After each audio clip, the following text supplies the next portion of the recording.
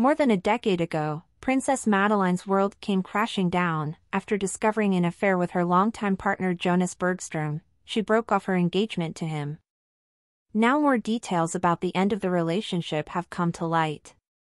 It was probably the most difficult time in life for 41-year-old Princess Madeleine when she broke up with her fiancé Jonas Bergström, 44, 13 years ago. The reason for love was a scandalous affair with a lawyer. Madeleine then fled to New York, overcame the crisis and met her current husband Chris O'Neill, 49, with whom she has three children, Princess Leonore, 9, Prince Nicolas, 8, and Princess Adrienne, 5. Princess Madeleine broke off her engagement due to infidelity.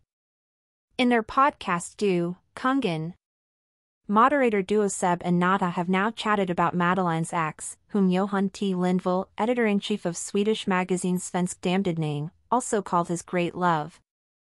As a reminder, the press release after Mad broke off her engagement to Jonas stated, they have decided that it is best for them to separate.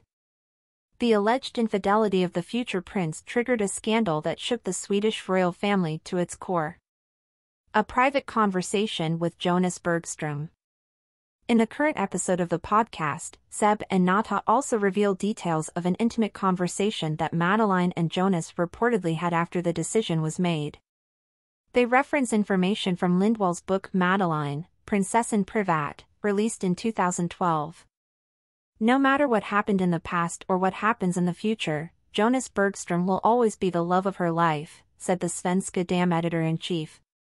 He knew it, and everyone around Madeleine knew it. But even Jonas realized there was no other way.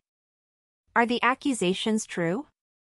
After the decision was made and they decided to break off their engagement together, Madeleine asked her lover one last time, are the accusations true? After it was over, Jonas finally told the truth and admitted everything, yes, she and the Norwegian had sex. Damn, that's disgusting. Damn, that's disgusting, the host of Natta's podcast said of cheating.